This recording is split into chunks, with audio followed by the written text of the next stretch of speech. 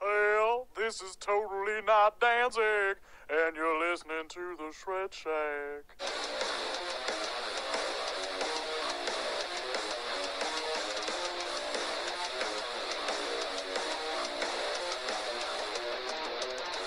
Greetings, folks. I'm Dan Mack, And this is Chris Mack. welcoming you to episode 93 of the Shred Shack podcast, your premier source of news and uninformed yet heavily biased opinions pertaining to all things heavy metal airing. I don't even know why I have it listed, listed as weekly on here. Because it's just a template for the I. I actually, I'm, I'm very excited because I finally get to use a clip that I've been wanting to use for the longest time. Um, and it's this. We're back, baby! what was that? It's, uh, it's from Futurama. We're back, baby! Ah, we're back, baby. Yeah, so we have been gone for a good long time for various reasons. Um, I mean, like, our old our old business listed here is is to give a synopsis as to why. Uh, busy things have been going on. Family, Yeah. you know, family visits, and and you have your own shit going on. And moving. and and I and I have moved into a house now. A so, real house? Uh, well, not just now. We're not just living in a du- duplex anymore. We actually live in a house now. So there was the finding of a home and the moving process and the settling process. Um, so we're pretty much settled now. Um, but it's just been kind of a busy couple of months. just a little bit, yeah. Just a little bit. Um, so you wrote down here um, that there was one particular thing that we wanted to mention um, as far as what happened in the last five months, and that was the passing of Vinnie Paul. Yeah, that was a shock. Yes. I remember I was heading to bed and doing my nightly scroll through Facebook just before I g- crashed, and that was like the top trending thing was Vinnie Paul passed away. I hate um, when you find out that that find out things through like what's trending like on Twitter or something like that, and you're like, damn, really? Yeah, Because you get afraid. That's that that you see someone's name appear, and you're like, what? No. I think it's especially when these things are told to happen in threes. So when you see like you know Vinnie Paul pass away, like all right, who else is gonna, yeah. What's next? who else is getting it? Uh, but Vinnie Paul passing away was a horrific shock, considering that the guy was still relatively young. Yeah. Given you know certain Was he f- acts that are out still now. 47? Uh, He was probably late forties, early fifties. Well, definitely not early fifties, but I think he late four. I think he Uh, was he's probably pushing the same age as like you know the, the guys from Metallica. They're all in their fifties now. They, they, they, they, they've all they've all hit fifty at this point. Yeah. I, I think I think Vinnie Paul was was was like as you said late forties. You know, but he Um, did. Li- he, uh, apparently, the the coroner's report says that he died of a massive heart attack, or at least that's what the early reports are or were. And considering his lifestyle is not a shock, Mm. like the reason behind it is just a shock that happens at such a young age. Yeah, You know, I mean, they can that, that kind of shit happens at any time. Yeah, So, yeah. And again, it's- given his lifestyle, the drinking, the the bad eating habits, up late at night, you know, with the the not just being a rock star, but also he owned strip clubs, he owned restaurants across Dallas. I think stress. So You know, he he just was a full steam ahead kind of guy. yeah. So again, not a surprise. The cause, just surprised at how soon it happened and how suddenly it happened. Yeah, not not as surprising as as as Dimebags. Well, that was more of a tragedy than yeah, anything that- else. I remember I I remember when that happened. so do I. when because that's when I was that happened when I was dating Alex. This is this is even before This- I met Lindsay, Wow. and um, I was staying with her at Columbia, and it was like one of those things that like news was coming in. I think you were the first to tell me. And Dude, I like, got "What?" text messages about that at three o'clock in the morning, and I was on. I was. This is before that you kind of get that kind of information on the internet as quickly as possible. So I went to CNN of all places just to see if there was a scroll at the bottom Yeah. of their thing. You know, just because again, it wasn't. It, we're talking something like what was it, ten years ago? It was longer than that for sure. Either way, yeah, we're probably almost pushing fifteen years ago. Like the information just wasn't as readily available as quickly as it is now. Yeah, yeah, So yeah. I I, I was I was at um, Birchwood at that time, and I left there.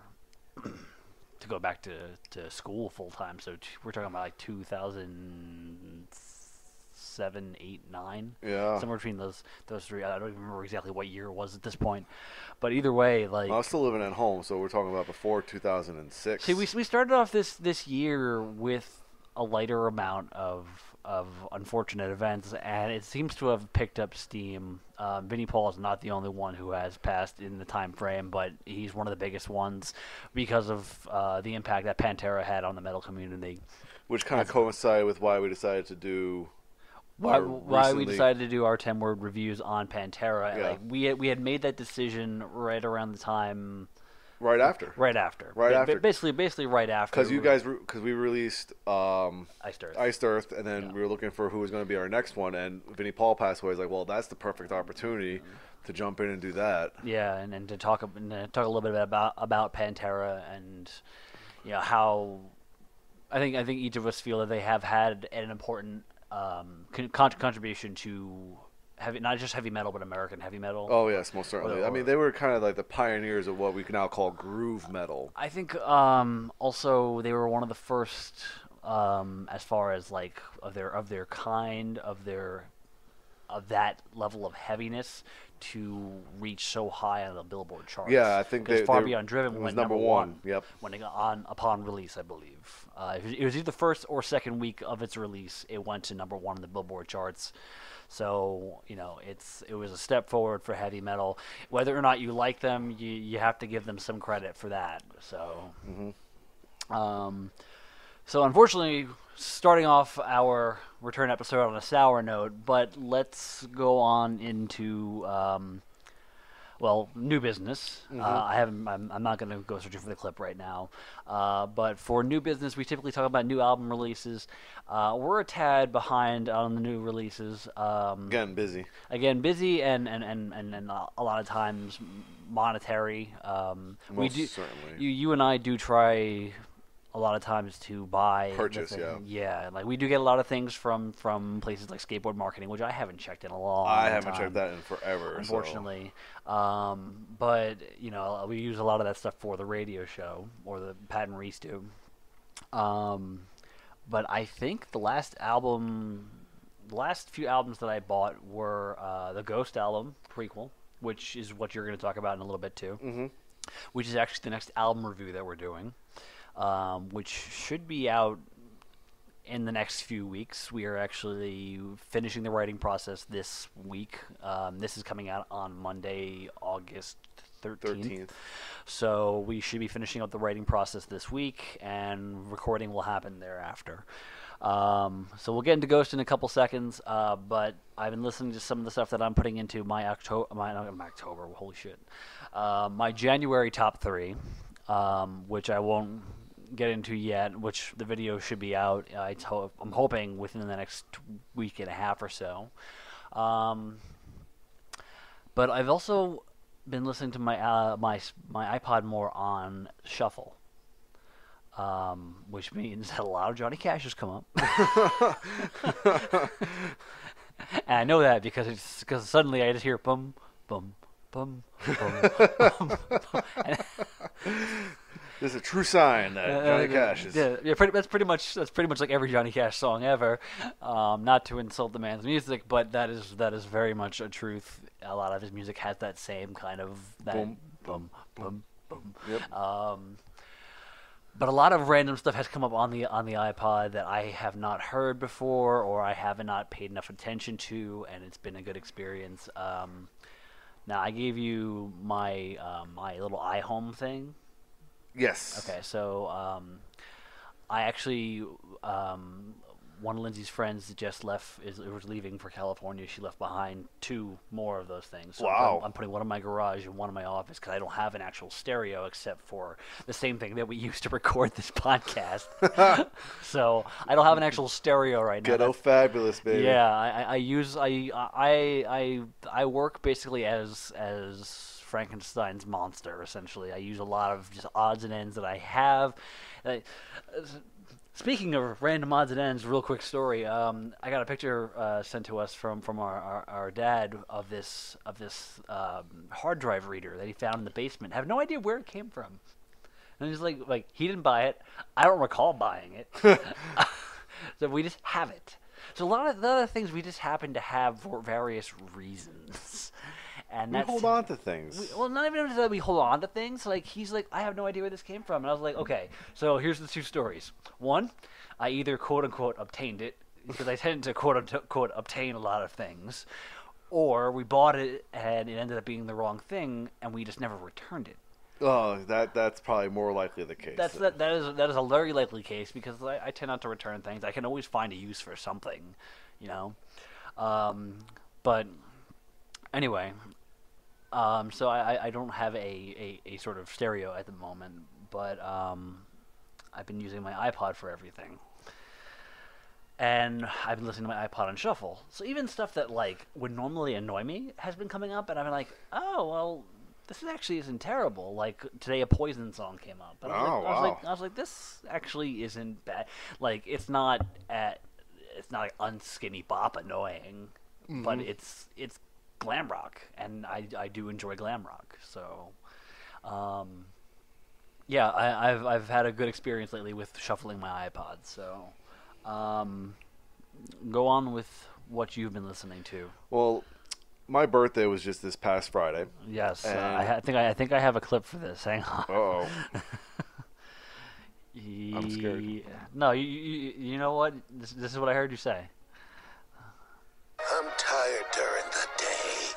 I can relate to this. Because most of the times, yes, I am very tired during the day since I started working nights. But anyway, uh, so for my birthday, the um, the one that's losing his hair and he hates me for growing my hair. Yeah. Uh, he bought me three records, new records from this past year Mm-hmm. or up to this point. Ghost, the newest Night Flight Orchestra, and the newest Tesseract. So I've been kind of just listening to those three on repeat for the last uh, two weeks because that's how long ago you gave me these records. Don't you have most of the the Tesseract albums? I have all, I have everything uh, from Altered State forward, Okay. and I think Altered State, if I remember correctly, and don't call me on this, I think it was either their second or their third record, because that was that was their record with a new singer. He left the band, and they brought their first singer back for um, Polaris, So, which so- was their so- last record. So, so they gave him the Ripper and kicked him out on Christmas Day. So uh, the the newest Tesseract is very good. It feels a little short though because it's only eight tracks, and I'm used to the like altered altered state, which is the record that got me into them in the first place. Is 51 minutes of pretty much continuous music. Okay. Every single track flows in together. It's kind of like one consciousness uh, stream of thought Stream consciousness. stream of consciousness Yeah. thing going on. Their second record, the second record I got into, Polaris, which is the the next release with their old singer back at the band, were more structured songs. Uh, again, it wasn't the stream of consciousness as Altered State was. There's a little bit more catchiness to it, but the same sound. This one has the same sound, but there's no real catchiness to it. So there's nothing that really kind of grabs you and like this is that this is this song is like the single. This is like you know this is a particular part of a song. Um, not that there's anything wrong with that. It's just not what I'm used to with the band. Uh, so it's taken me a couple more listens to get into than in, and than in the past. Okay. But I have been. I did come back around to it uh, just uh, later on last week, and I, I, I still really enjoy it. So I have my gripes, but I still enjoy the record. Yeah. Um, the newest Night Flight Orchestra, of course, is I've been jockeying this band ever since I got into them. This is their fourth record, despite what the sticker on the CD said. Said it was their third. It's actually their fourth record, and it is just pure dad rock. And it, it's kind of funny because when you listen to these band these albums in succession, it feels like you are actually listening to them in like chronological order by a particular band, because like it feels like they they're incorporating sounds from the later 70s now as this, this is their fourth album it feels like their first album might have came out in 1971 now we're talking about 1977 1978 a little bit more synthesizers involved a little bit more a little bit of disco vibe going Yeah. on a little bit Like, they were, like Um, around the same time that even Queen was like, okay, let's throw some synthesizers in. Yeah, like it, it just you know there's there's still the the vibe of like some deep purple and stuff like that in there, but then there's also like you know, um, Kiss type disco in there, you know, Like, like their rendition of disco. yeah, and it's it's you know what? The thing is all of it works. Like it's and the thing is like a, a band like this could be accused of saying like they have one song of this particular style and this song of this particular style. What they've done successfully is combine all these styles into one significant one cohesive sound it's not like oh well this is their kiss song or this is their deep purple song it's like no they are an amalgamation of all of these bands in one and it's actually it's really fucking good it's So it's it's less like it's less like how Amon Amarth did that that extra EP Yes. in the style of all these different Right. bands. Instead, it's an amalgamation of everything. that's correct okay. that's that's probably the best I still, best way you can compare it to I still don't think I've heard a single song by this band uh, for as long as you've been talking about them. Well, Um, you know, you've got got to jump on the bandwagon because even Pat's gotten on the bandwagon well, now. So because you know what's going to happen is is somewhere down the line I'm going to get into it and I'm going to be like, There's some good ass cheese. exactly, the thing is, like, this band really is up your alley. So, Yeah, I, so- I'm surprised it's taking you this long. Now, my question, because since we're talking about the 70s, and I think in a lot of the things that I've covered either on the podcast or in the top three, when talking about bands that have that more classic sound, I also talk about production because I love when bands have classic sound and have production to match it. Like something that came out recently that sounds like it was literally produced in the 70s. How I is- don't think you're gonna come across that one. I think this one is more of a polished More sound. power, okay. Um, but that's okay. Mm-hmm. You know, this still has a live feel to it, especially considering that you got consider some of the bands that these guys have come from. You got members of Arch Enemy. You got members of Soil Soilwork, specifically Speed, Yeah. um, uh, singing.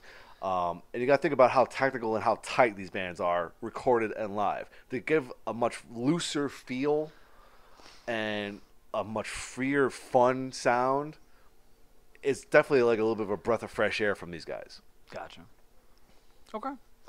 Um, I will. I will have to take a listen at some point. Um, you're just gonna end up when you listen to it, you're just gonna end up having a lot of fun listening to it. Mm-hmm. So, Well, I'll have to. I'll have to borrow from you at some point and eventually buy it. yep. So, because I don't think the album was all that expensive when I when I picked it up for You you. It was was it an auto rip from Amazon?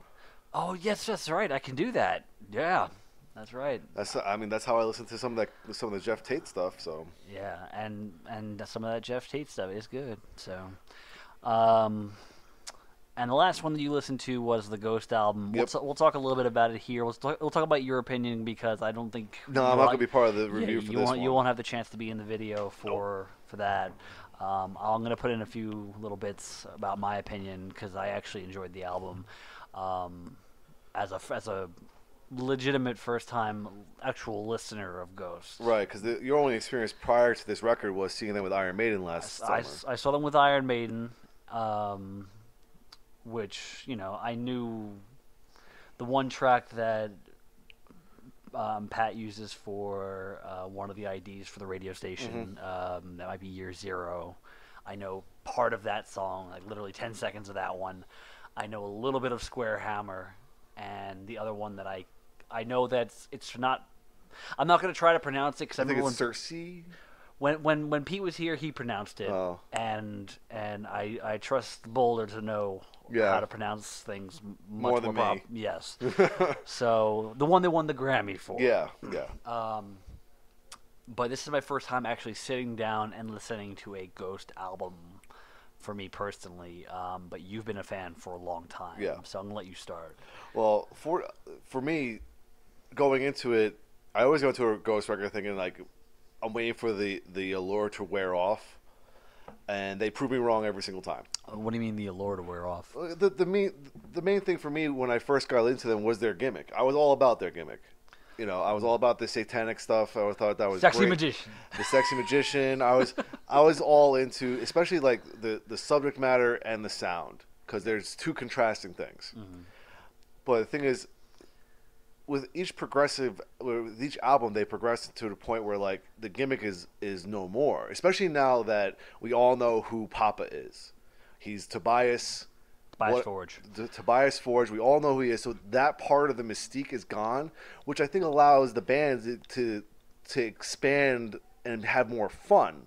Mm-hmm. Because now they don't have to live up to this this mystique anymore. Yeah. They're just a rock and roll band who has th- these characters, and it kind of like Kiss. When Kiss got unmasked, they can do whatever they wanted after that. I was just thinking of um, what was the bit from Jurassic Park with uh, with Wayne Knight when uh, when they're sitting at the table and he's just like he's like pointing at like what does he say to the guy? Like, what the guy's trying to hide Dodgson, something. we got Dodgson here. Yeah. See, nobody cares. Nobody cares. yeah, exa- that's exactly what it was like.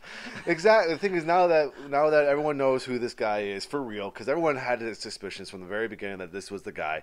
But now that that's out of the way, it allows the band to have more fun. And the fact of the matter is, I think they've they they're writing better songs now. Mm-hmm. They sound like a band that's having fun in the studio, mm-hmm. and they they they have just like progressed in their sound so much that like they I can deal without the whole satanic thing now. Like they're just a really good rock band, mm-hmm. and some of the stuff is so subtle.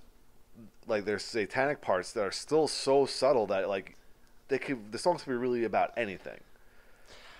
Yeah, yeah, in a way. In a way, there's certain there's certain times where it's very obvious what's going on, but there's uh, there's other times where it's very subtle. You know, and the other thing I like about this particular record is that um, Tobias has allowed the band to kind of flourish a little bit more because we were just talking recently prior to recording that there's 10 tracks on the album, three of which are instrumentals. I think uh, n- uh, the way that Pat put it was basically he's the song's called Miasma. Is he basically said that if you don't like that track, then like stop listening to metal, like or so, Well- something, something something along those lines, because it's it's it was a very surprising track. A lot of um, a lot of influence from bands like Iron Maiden, the ones who employ the the, the dual leads and whatnot. Uh-huh. It was unexpected. Yeah, uh, and again, this is they allowed this guy Tobias, who's supposed to be the the big bad guy, given the lawsuit he's had with some of his ex band members, controlling too much. But this is like him like taking a step back and letting the band, whoever's playing on his records, shine.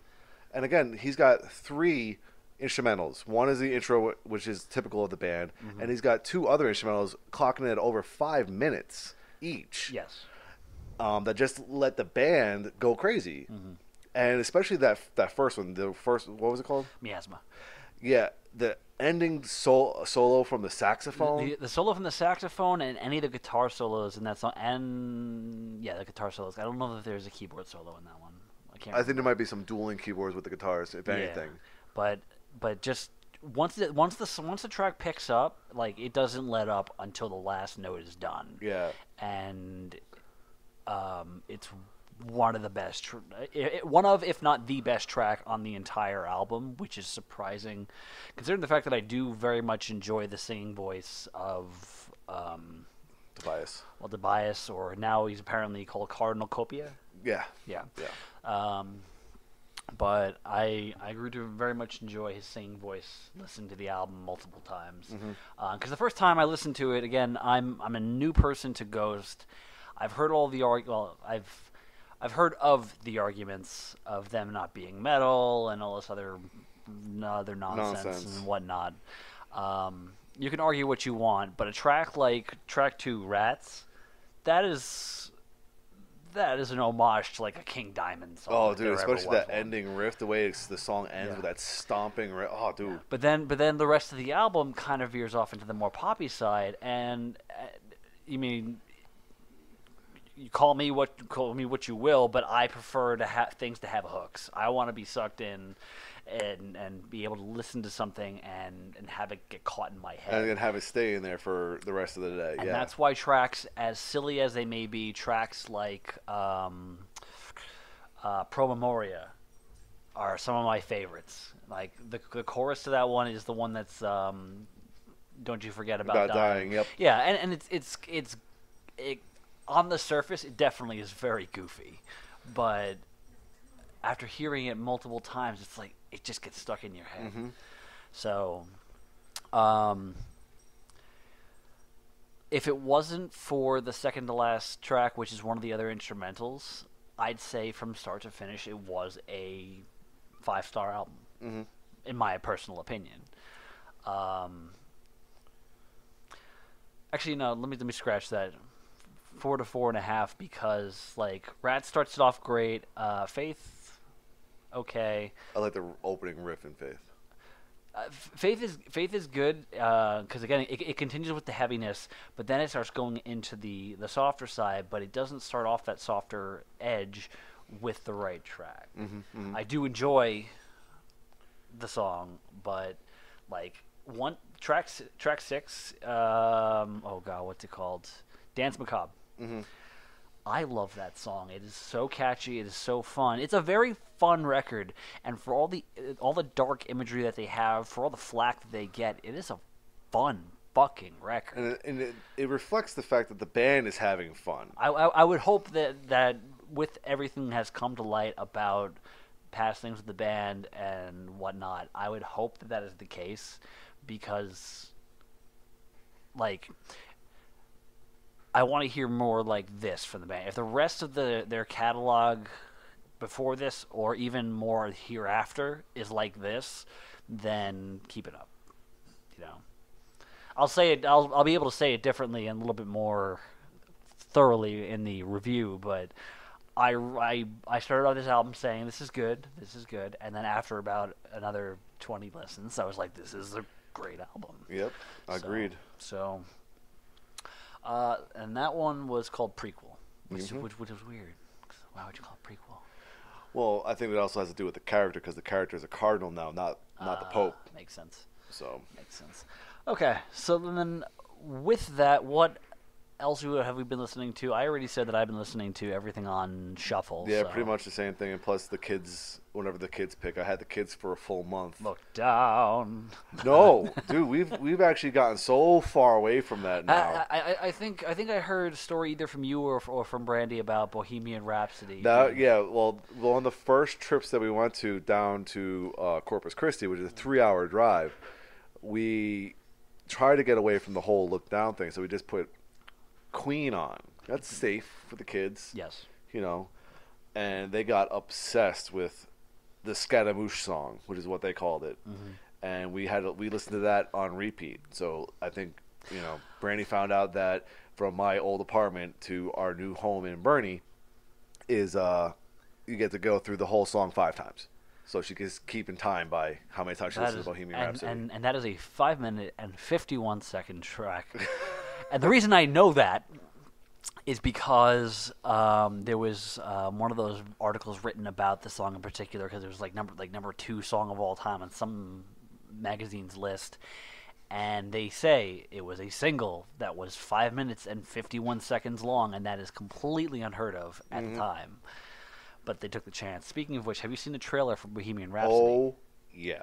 That looks like it'll be a great biopic. Yeah, So- I'm excited for it. I think the guy who's playing uh, Freddie looks great. Rami Malek looks great. He sounds a lot in speaking voice. Yeah. In speaking voice, he sounds a lot like Freddie Mercury, which is what I was a little worried about, but he sounds pretty spot and it on. looks like he also got some a lot of the mannerisms in from the performance pictures that you've seen. yes.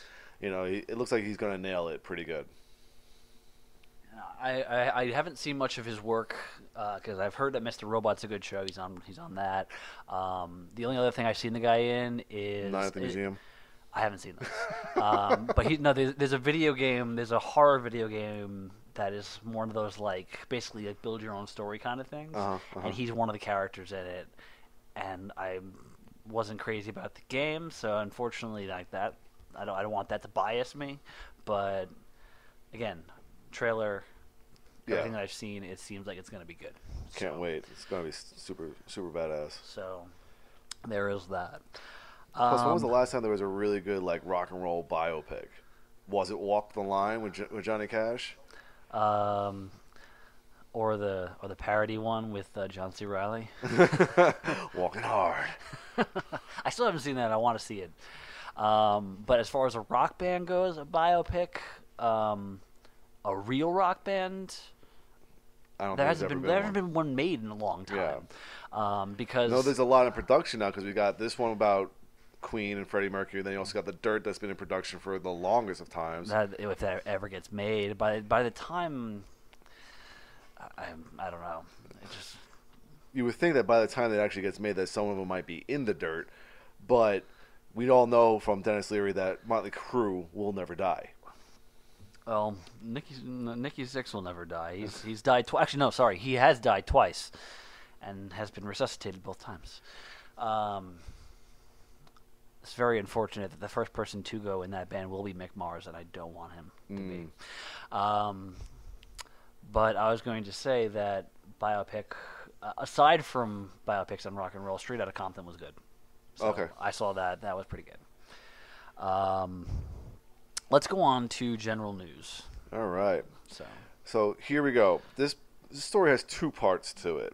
Okay. I want to go with the part that came out first. So I titled this one hashtag still got it. so this just remember the, there's a part B to this. So So let me get through this whole first part and then let me go to part B. Mm-hmm. All right. According to Deutsche Welle, uh, two elderly uh, German men escaped from their nursing home on Friday, August 3rd, to attend the Wacken Open Air Festival. The retirement home in Dithmarschen, uh, northern Germany, contacted the police after discovered that the men were missing from the facility. The men were later found at 3 a.m. at the Heavy Metal Festival, which is celebrating its 29th anniversary this year in Wacken, Germany. A police spokesperson told Deutsche Welle uh, they were uh, disoriented and dazed. The elderly pair were reluctant to abort their plans, and police escorted the men home with the help of a taxi and a patrol car, quote unquote, as a precaution. Peter Berndt, another spokesperson for the police department, said the two men likely made it to the festival by foot and public transportation. They were uh, then taken to the medical tent on the festival site and were sent back by taxi at around 6:30 a.m. Uh, Berndt told the Washington Post we had to explain to them they why they had to go home, but in the end they went back voluntarily.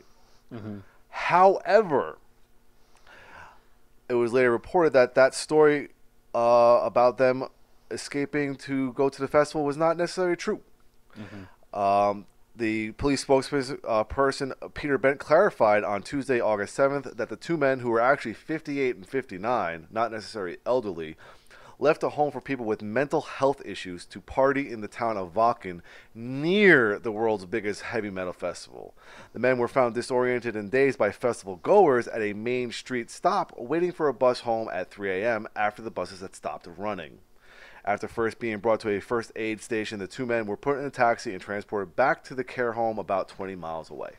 yeah, so so when when they were just standing there yelling out, Rock and roll! They just assumed that they came from Wacken, which they did not. Yeah.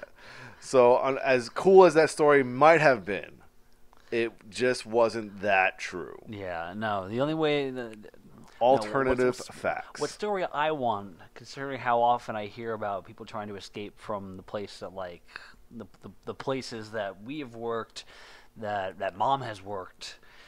You know, I want to see somebody literally escape on wheelchair and crowd surf on wheelchair. when you tell me that story, then we're on to something. well, you know, But until then, until we're then, getting close. You know, you know, Metallica fans and Metallica themselves aren't pushing, aren't any younger. So we'll Yeah, see. well, well, they're- they're going to be on stage soon. So, all right. Here we go with hashtag rumors, hearsay, and speculation. A few days after Canadian journalists claimed that Stevie Young and Phil Rudd were spotted in downtown Vancouver, photographic proof has surfaced that something is brewing in the ACDC camp.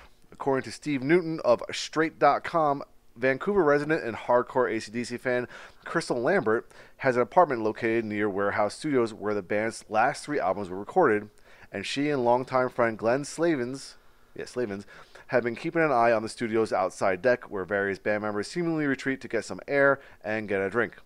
In the photo taken by Glenn two days ago, at the time of that we wrote this, Rudd appears to be sharing a laugh with none other than singer Brian Johnson. The assumption is that ACDC is in the midst of making or at least planning another album with Rudd and Johnson both back in the lineup.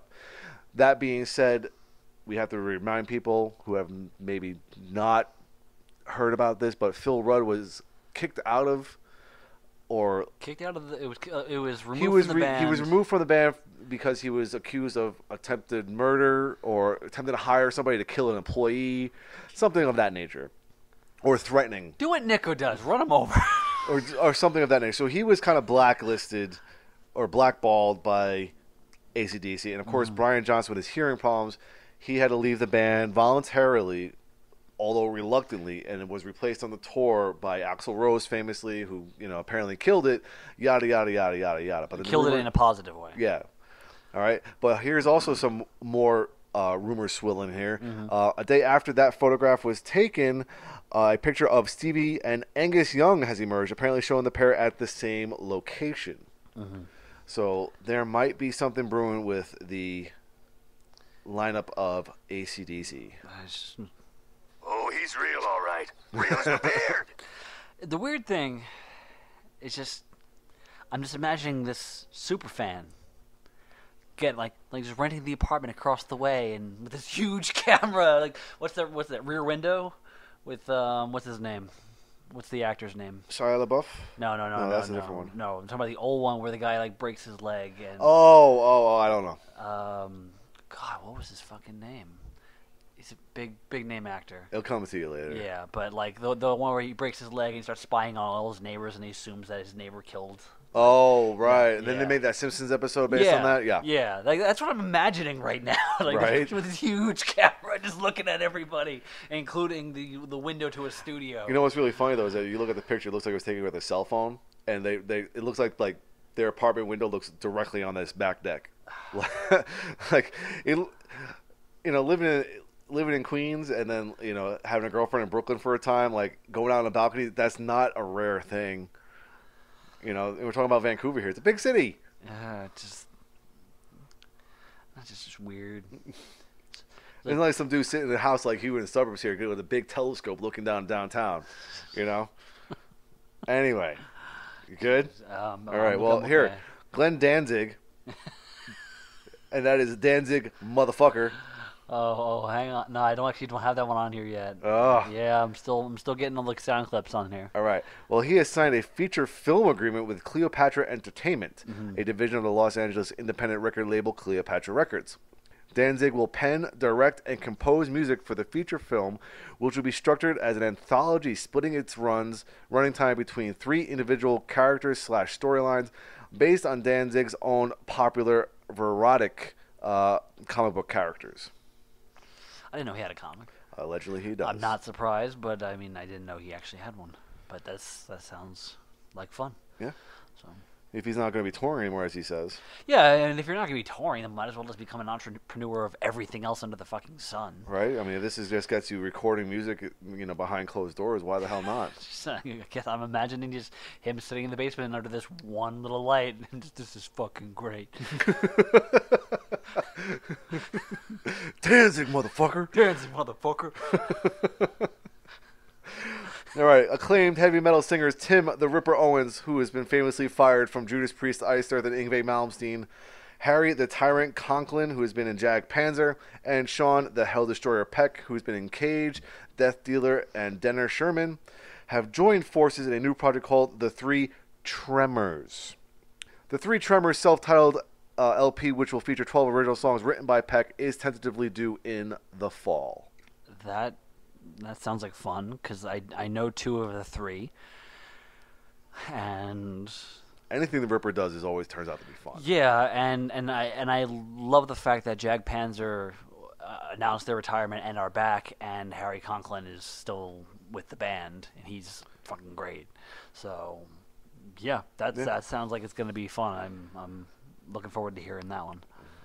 All right, so I decided to make a new headline here for this particular couple of items, Oh man. and it's called "Remember, this is still a business."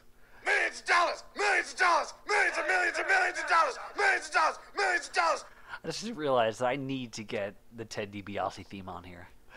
Yes, yes. Now for th- these sorts of things, especially concerning what we're about to talk about, Yes. yes, you do. Yes, absolutely. So here we go. Iron Maiden have responded to a lawsuit filed by their former singer Dennis Wilcock, in which he accused them of stealing the lyrics to some of their classic early songs.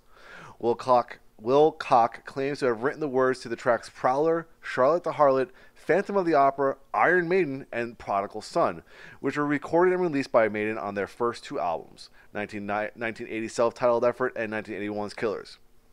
In a formal written response to Wilcock's legal action, Iron Maiden claims bassist Steve Harris, not Wilcock, actually penned the lyrics in question. In addition, the band admits to songwriting credit on Charlotte the Harlot is wrong. Since it first appeared on Maiden's debut LP, the track has been solely credited to guitarist Dave Murray, but in the document served to the High Court, Harris and publisher Imagine State. Yep. Uh, they state, oh, okay. They state the lyrics for the song were written by Mr. Harris in or around 1977 to accompany music written by Mr. Murray, who had joined Iron Maiden in the late 1976. Iron Maiden has admitted that Wilcock changed three words of Prowler and two of Charlotte the Harlot, but has questioned whether he can remember writing them. The band states he was, when he was a member of Iron Maiden, notorious for forgetting lyrics for the band's songs or missing out words or singing the wrong words. He even had to sing from lyric sheets at live performances. Accordingly, it is implausible that Mr. Wilcock can now remember lyrics he allegedly wrote some 40 years ago. Has he been in a coma for this amount of time? Yeah, right? That's what I find funny about a lot of these lawsuits that have been popping up recently. Like, Especially something like this, like.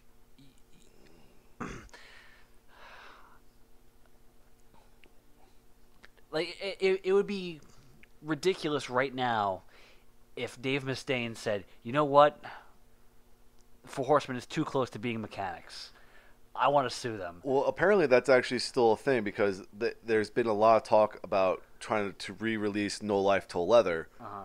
but it's being held up because Lars refuses to give writing credits to to certain songs to Dave or something like that. That's obnoxious. Yeah, but this one is ridiculous because was, he wasn't even on the records. Number one, No. uh, number two, it's 40 years later, Yes. And 40 years, and then we're, talking we're talking about the first few albums that have been out for a while on major labels. They are a world renowned band. And just now you're like, hey, wait a second. are you just trying to wait for them to heat reach their peak and see how much money they can make before you sue them? Because that makes no sense either. It's like they got a jet, so now I can totally sue them. Yeah. It's like, no, that's not how this works. And what I really do like though is they stuck it to this guy twice because they're like, oh yeah, the the the songwriting credit to Charlotte Harlot is wrong, but it's because we forgot to credit Steve Harris. Oops, our bad. I, I can I can see him saying that. Like, like I can see Steve Harris saying that. I've been like, yeah, you're right. You're right. Dave didn't write that song. I, did. Thank you. And then he just- Wow. and then he just walks away like, You're a! And then they just call him out for being a, a, a, forgetful douche, pretty much. like you, you, you're just a scumbag at this rate. Like, wow. like, wh- wh- why wait so long? I, I, I know it doesn't make sense to me. It doesn't make. And the thing is, this is not the first lawsuit that that Iron Man has had to fight this particular in the last like two years. Because Yeah. remember, they had to they stopped for a while playing "Hallowed Be Thy Name" live because of the lawsuit that centered around that album. Yeah. You know, and then also you got to think about the albums like someone going on like after 45 years trying to sue Led Zeppelin for "Stairway to Fucking Heaven." Yeah, know? I remember that one. I remember that So one. I mean, why are you waiting so long? I, I, I, I don't get it. It, it doesn't make any sense whatsoever. I mean, there really should be a kind of a statute of limitations. Like, if, if if you feel you wrote the song 40 years ago, you have no rights. You have 10 years, maybe. I, I like, especially with a band like Iron Maiden. And, and also, like, what's your proof? A, a, a handwritten napkin from 1976? Like, what, what do you got?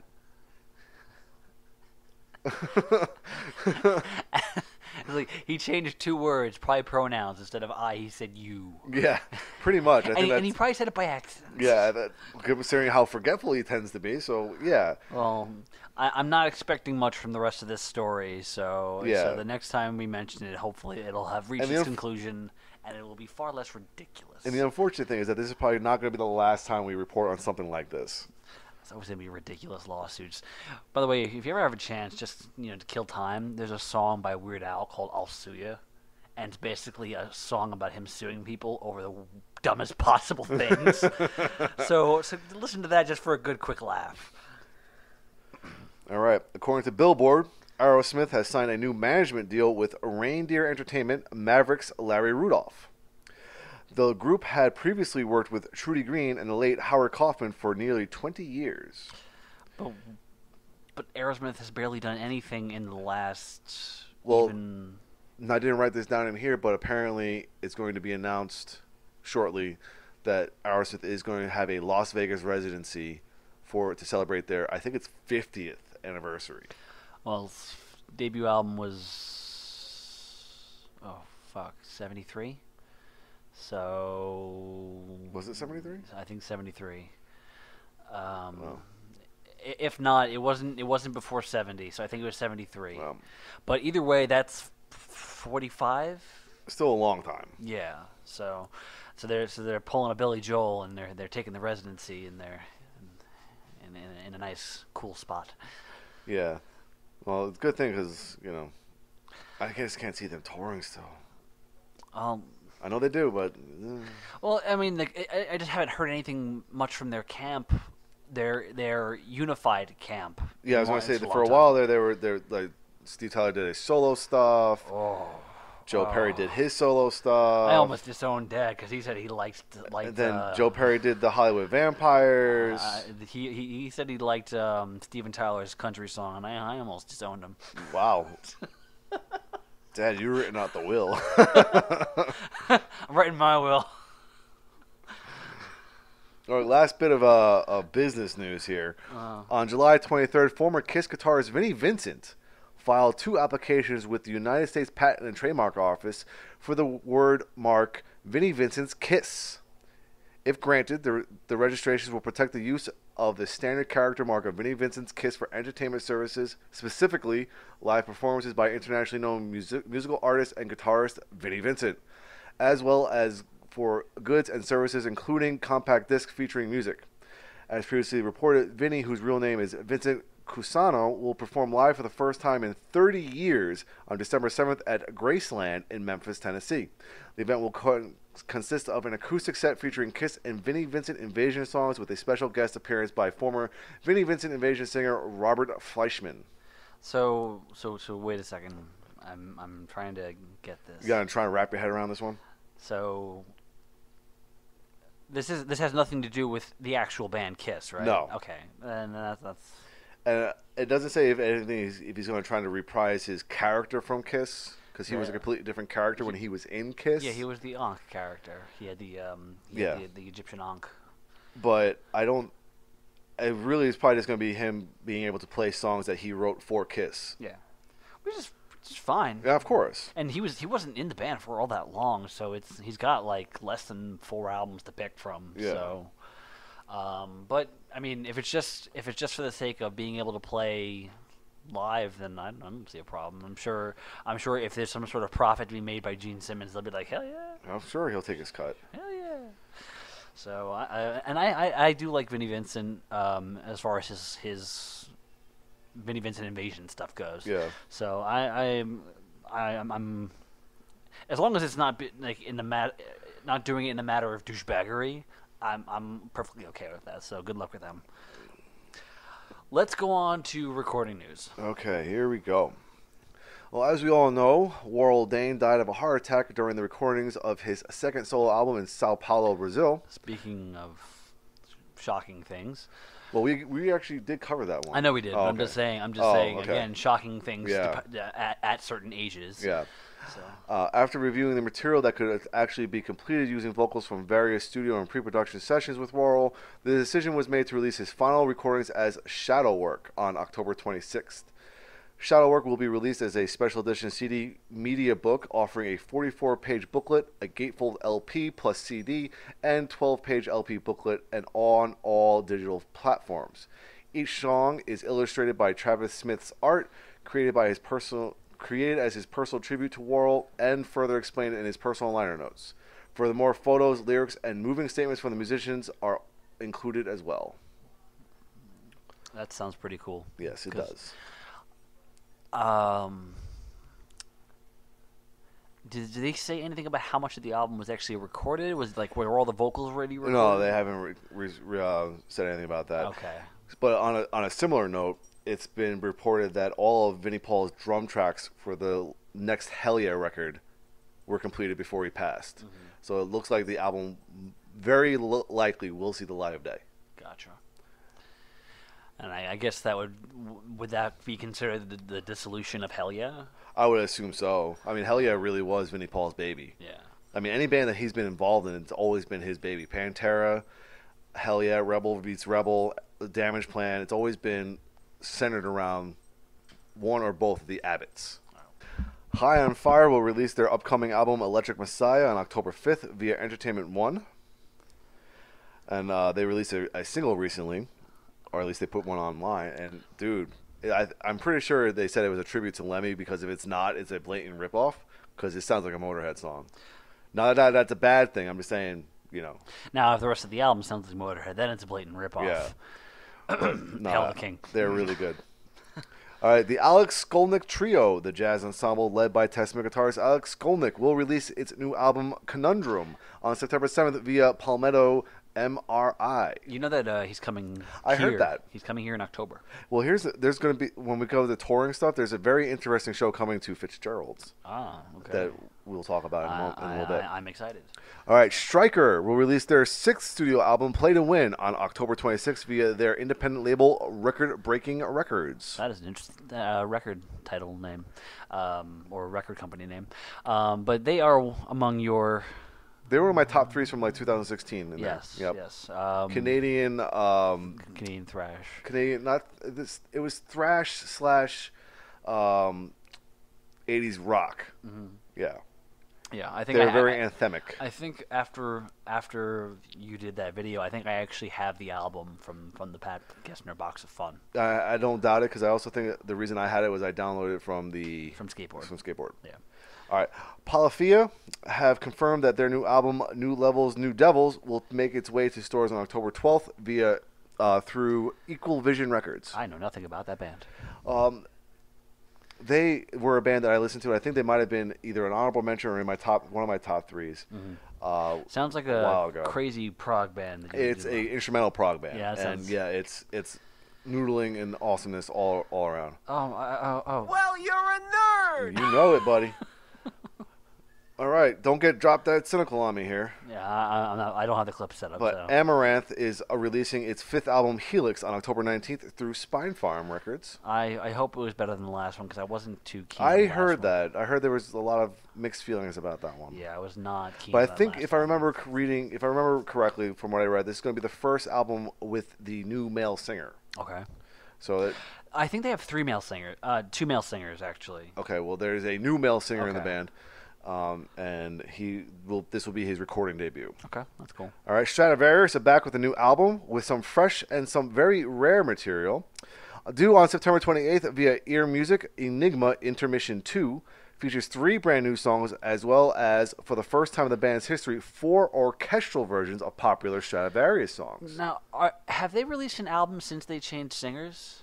I'm not fully aware. I, I, I'm- I'm not sure because I, I feel like that would have been a, a point of uh, uh, of mention if if it was, but I know that like um, their previous singer had left and they got a uh, a, a, a female singer, but I wasn't sure if they released an album since they got her in the band. I honestly I don't think so. Only because the picture that was posted with the with the information here, I think it was all dudes. Really? I think so. So that's hmm.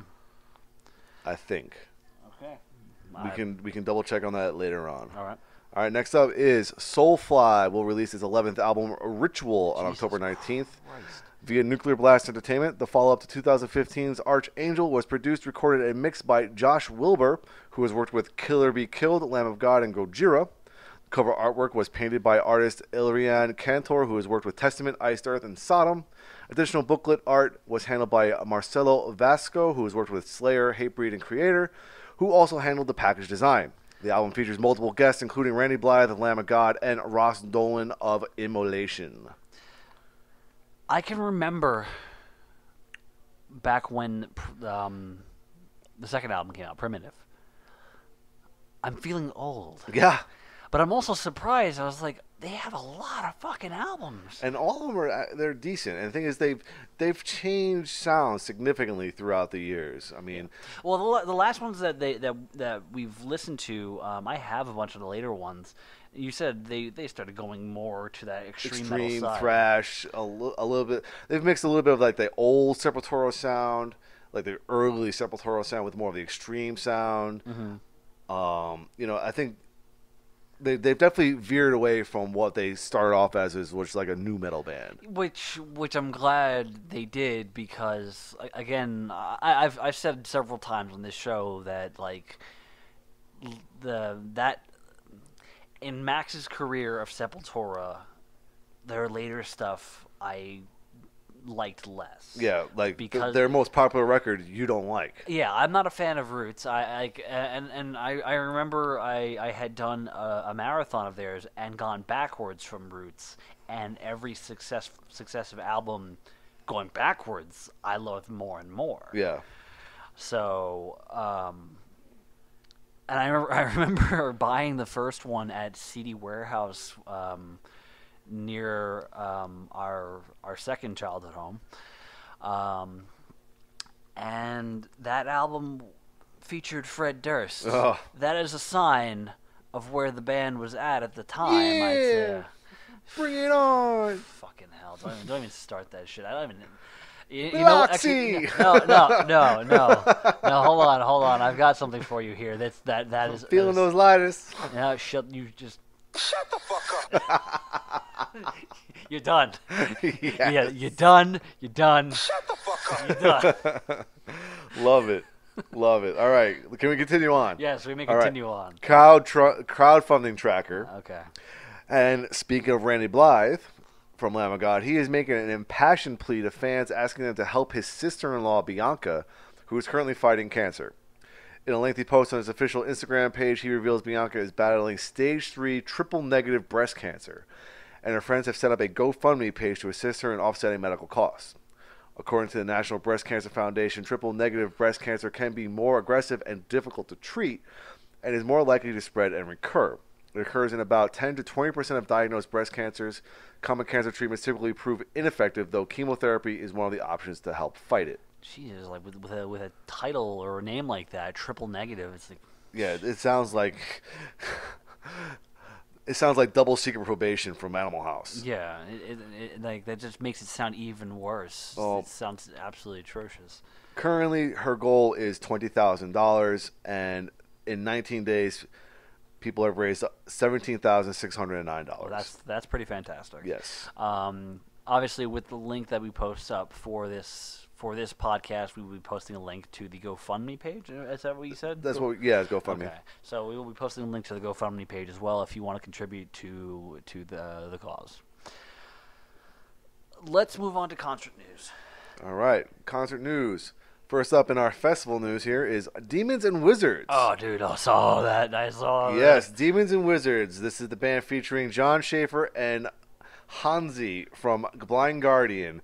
Is one of the confirmed acts for the 30th anniversary edition of the Wacken Open Air Festival, where the elderly will break out of prison for real this time. Oh, oh, group homes or, or, or Whichever. Don't say prison. it's Germany. anyway, uh, set to take place August 1st through the 3rd, 2019 in Wacken, Germany. Also scheduled to appear are Parkway Drive, Powerwolf, Airborne, Rose Tattoo, Within Temptation, Meshuggah, Krokus, Dark Funeral, and Avatar, with many more bands to be announced soon. Already sounds fantastic. I want to be yeah. there. I've always wanted to go to Wacken.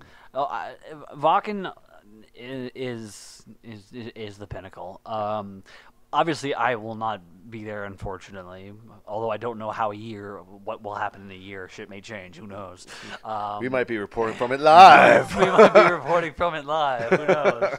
Um, but the fact that Demons and Wizards, we've been waiting a good long time, and I read some uh, a bit of an article or interview with Jon Schaffer saying that as much as he had liked Touched by the Crimson King, uh, the previous Demons and Wizards album, he felt that was a bit rushed.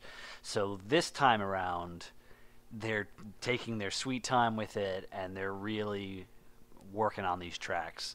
And like, I'm okay with waiting if it's going to be that amazing. because the uh, I liked to talk about the Crimson King, but the debut album was fucking phenomenal. Um, and they do one of the best covers of White Room I've ever heard. Oh yes. So- Yes, yes, yes, yes. And even the cover of Immigrant Song from Touched by the Crimson King was great. But, um, um, God, uh, Fiddler on the Green is probably one of the best songs that either either artist has done between their bands. Mm. So, Well, this is one's a little bit more of a downer, but uh, Venom Inc., which is the band featuring original Venom members Jeff Mantas, uh, Dunn on guitar, and Anthony Abandon Abaddon uh, Bray on drums, alongside ex Venom bassist vocalist Tony Demolition Man Dolan, has been forced to cancel his appearance at this year's Psycho Las Vegas festival, set to take place August 17th to the 19th at the Hard Rock Caf- at the Hard Rock Hotel and Casino in Las Vegas, Nevada. Mantis Mantus said in a statement, "It is with great regret that I must inform you all that myself and Venom Inc. will not be appearing at this year's Cyclefest on August 17th. This is due to circumstances be completely beyond my control, not least of which being myself having a major heart attack on April 30th, which did in fact take my life." Although fortunately I was resuscitated and spent the next month in three different hospitals before undergoing a double heart bypass. The other factor, of course, is that of the visa, where the timing of this could not have been worse. Why even mention the visa? Nobody gives a shit about the visa. You Visas, we got visas here. See, nobody cares. Nobody cares. Dude, the heart attack is the thing, man. It's Right? Like, like, like, I'm sorry I couldn't show up. I died. That's- like that's that's that's enough of a reason. That's a legitimate excuse. Yes, I always say that would be a legitimate That- excuse. that- like you should end the sentence there. we can't go because I died. That's, that's all you need to fucking say. And I am like, dude, It's good. Dude, you're fine. We're good. You are absolutely fine. We're good. Oh, and I had trouble with my visa. I don't give a shit. You died, and you're alive. and you're alive. Way to go. yeah, like again, with all the tragedy that we've had lately, this could have been added to that list. Thankfully, it wasn't. But like, you don't have to explain the visa when you just said you had a heart attack and died. I'm glad he's recovering, and then obviously that that that, that that's great that that you know he's he's They're doing, trying. That at least now he's doing well and, and well enough to report uh, better things, but but man, like mention the visa first next. Lead in with the visas. It's like so we had a problem with the visa. Oh, by oh, the way, by the way, died. Dead. All right. Ready? yes. All right, touring. Here we go. Municipal Waste will embark on a 17 date co headlining U.S. tour with High on Fire. The Speed of the Wizard Trek, the Speed of the Wizard Trek, that's what it is called, will kick off in Dallas and visit Brooklyn, Boston, and Denver before concluding in Santa Ana on November 27th, November 26th. Direct support for the tour will come from Toxic, Toxic Holocaust and Haunt. Is that coming anywhere near here, such as Austin? More than likely Austin. Okay, because I know I saw, Dallas, of course, Yeah. and I I'd, I'd be I'd be cool with seeing that show. Yeah.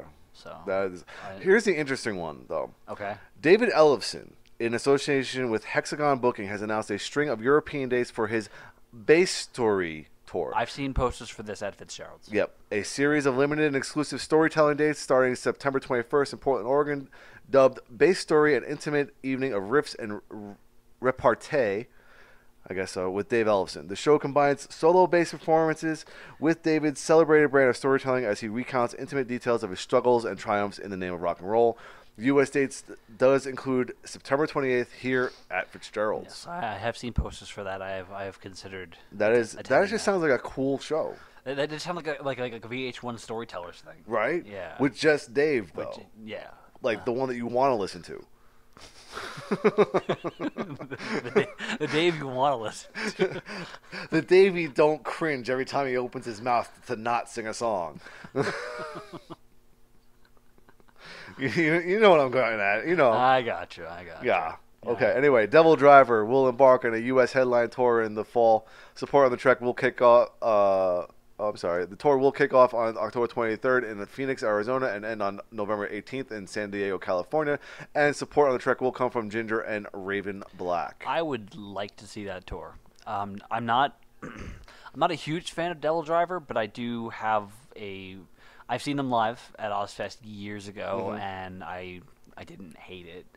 Um, uh, it, it, comparatively to like Coal Chamber, which is a little bit Ugh. less tolerable. Um, you like ginger and hair? I'm not sure how it's pronounced. Actually, I, I really I pronounce not- it ginger, but it's probably Yeah, no. yin year or something like that. Yeah, and Raven Black, um, I thoroughly enjoy. I caught them live here, headlining their own show. And I, rem- yeah, that's why the name sounds familiar. Yes. Yes. So I've, I've been waiting for them to come back. Also, DevilDrivers uh, promoting their uh, covers album of, outlaw country songs. So Okay. probably there'll probably be a, bulk. if, Bum, it bum, will probably be bum. part, if not a bulk, of their songs. bum, bum, Yeah. bum, bum, bum, bum. All right. Obituary will embark on a U.S. tour next month. The headlining East Coast run with support from Exmortus begins September 1st in Caro, Carrboro? Carrboro. Carrboro. Carrboro, North Carolina, and September 16th in Ocala, Florida. I would totally see that show. That would be an amazing. Too bad. That's the only thing is that it's on the East Coast. Fuck. Come on, guys. So- Come, come down south. It's nice and cool down here. I can't even say. Get down with a straight face. I was man. gonna say in September it's still gonna be 95 degrees. What are you talking about? yeah, I was gonna say. Like. Like I'm sweating bullets sitting here in your house. All right, Jonathan Davis has announced the fall 2018 leg of his U.S. tour in support of his recently released Black Labyrinth solo album. Special guests on the trek will be The Birthday Massacre and Julien-K San Antonio date at Vibes Events showroom on October 29th. For those of you who don't know, I'm pretty sure Vibes was the Rock Box, was 210 Capone's, was something else. Is it really? Is that Yeah, it's, it's, it's now the Vibes. I'm pretty sure it's the Vibes Music Center now, whatever? But I, st- I still know it as the Rock Box because that's what it was when I Still sounds better Actually, than the when I City first- Music Hall. When I first got down here, I'm pretty sure it was like still 210 Capone's. 'cause I saw our show there, and then it became the Rock Box. Hmm. All right, Deafheaven have announced a co-headlining fall tour with DIIV. San Antonio date on October 23rd at the Paper Tiger. I'm pretty sure that Pete will be there. More, I think he's already shown interest on that on Facebook. Yeah, I'm pretty sure he's bought his ticket. The Black Dahlia Murder have announced a new run of tour dates centered around their appearance at the inaugural Los Angeles edition of the Decibel Metal and Beer Fest. They've got some awesome support li- uh, acts lined up depending on your local market, including Power Trip, Pig Destroyer, Ghoul, Midnight, Khemmis, Ghost, Skeletal Remains, Devourment, and Havok. You got me a power trip and um and Kenneth. So Yeah. And Havok's awesome. I've listened to them a couple of times. and I know they come around on a couple of tours that have been around Yeah. here, but I've I still have yet to catch them. So Unfortunately, Arch Enemy have canceled their upcoming uh, tour of North America, which was set to begin at the end of September. Support would have come from Goatwhore and Uncured. A statement from the band is vague, saying only that we have been forced to cancel this run due to reasons beyond our control. at least that one wasn't followed with. Oh, by the way, I, I died. Jeez. All right. All that remains, Toothgrinder, Gears, and Escape the Paradigm will be out on the road together in September, including a stop at our very own River City Rock Fest on uh, September 22nd. Um, I I still need to see the lineup for River City Rock Fest. It's headlined by Nine Inch Nails. that. Okay, I think I think. and Primus is involved. okay, yeah, I, I think I recall seeing. Okay, I may I may have seen some of the some of, some of the bands then. As Yeah. far as, yeah. I, th- I posted it to our, our, our Facebook group chat, and I'm like, oh my fucking god. I'm I'm sure it's because of the last last year in particular. I think Def Leppard headlined, and a lot of people flipped a shit. I wouldn't doubt it. so All right, Suffocation have announced dates for their final North American tour with original vocalist Frank Mullen. The trek will take place this upcoming October and November and see the band joined by Cattle Decapitation, Krisiun, and Soreption? Soreption. Soreption. Oh, okay. San Antonio date November 9th at the Paper Tiger. A lot, a lot of coming to the Paper Tiger. I think. I mean, we saw. I've. se- I know I've seen one show at the Paper Tiger, and that was Baroness. Yeah, I was there. And that was. Yeah, I know you were there. I didn't know if you've seen any more. No, Uh, but um, that show was amazing, and that venue sounded amazing. So I can only imagine it'd be all good. Yeah. All right, Turisas and Korpiklaani will join forces for a European co-headlining tour in early 2019. Support on the trek will come from Trollfest. Trollfest. Get your pagan metal on. Yeah, seriously. All right. Polyphia's fall headlining run in support of their forthcoming new album, New Levels and New Devils. Hail the Sun and Covet will join them on the tour. No dates yet, I guess. Nothing here, Oh, okay, well, yeah. if it doesn't come here, we don't give a shit. Go find it yourself, pretty much. punk ass. All right, we're gonna do one offs and I'm gonna pee. Okay. All right, one offs. Here's one that's just ridiculous. All right, check this out. Steve Vai announced that he will host and serve as a musical director for the Big Mama Jamma Jamathon, an open improvisational music slash art event where the music doesn't stop for 52 hours to be held September 28th to the 30th at Musicians Institute's band brand new venue Live House in Los Angeles, California. The Jamathon will mark the public grand opening of Live House.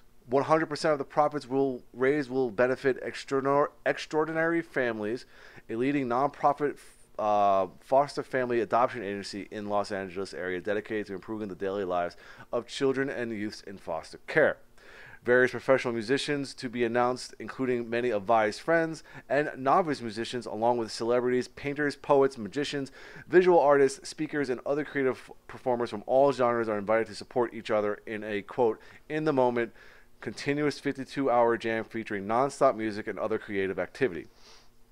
Vai will be center stage for the majority of the event and will be directing the band and jammers in an impromptu setting.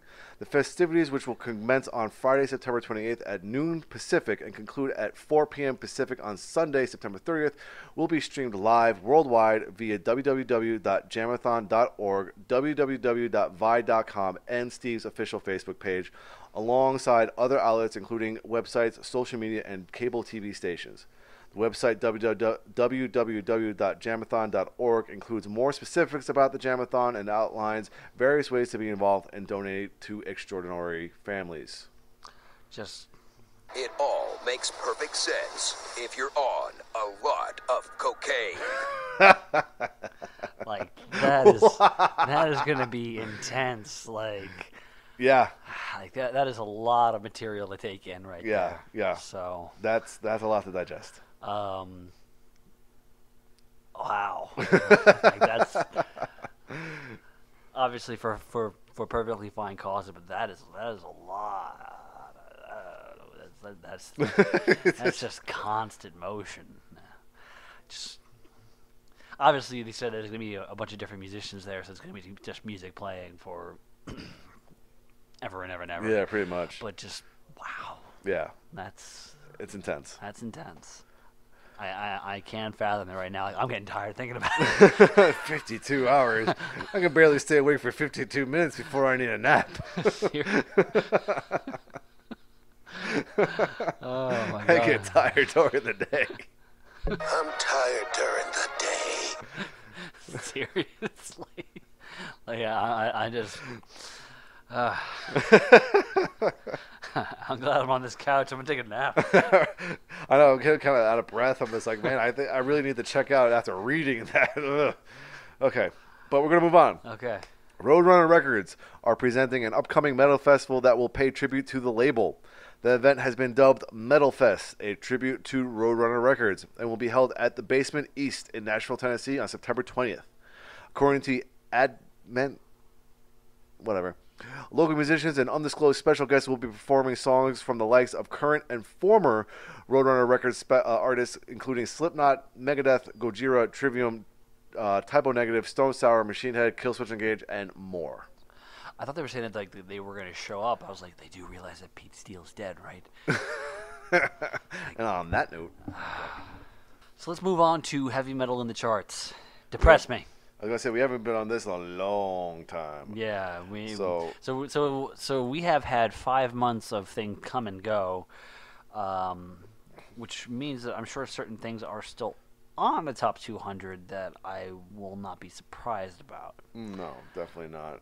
All right, so we'll do the top 200. We'll just do the bullet points because we're not going to scroll through the whole thing. Okay. Um, but Halestorm, their new album Vicious, has debuted at number eight. Which means it's number one on the hard rock chart. Queen's greatest hits down from uh, down to 47 from 38. Which means it's number two on the hard rock charts. Again, it was number one last week. Appetite for Destruction. Yeah. Oh yeah, yeah, yes, yes, yes. Just no, just wait until we get to the hard rock charts. You might be surprised. All right, Appetite for Destruction is at 101 from 79. Five Finger Death Punch has a new album out called "And Justice for None," which is at number 106 from 89. The actual six. Back in Black is at 128 from 127. Five Finger Death Punch Decade of Destruction is at 132 from 131.